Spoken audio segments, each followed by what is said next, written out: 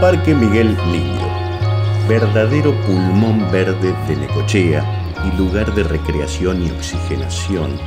El Parque Miguel Lillo cuenta con una extensión de 640 hectáreas de reserva forestal, con 480 hectáreas forestadas con diferentes especies arbóreas, en su mayoría coníferas, que son el resguardo de aves de esta zona. Ubicado en la parte sur de la villa Díaz Vélez y lindante con el mar en forma paralela a la costa.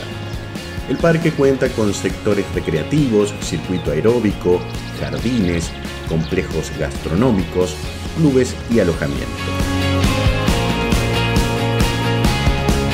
En un sector más agreste se encuentran distintos senderos para recorrer el interior del bosque a pie o en bicicleta.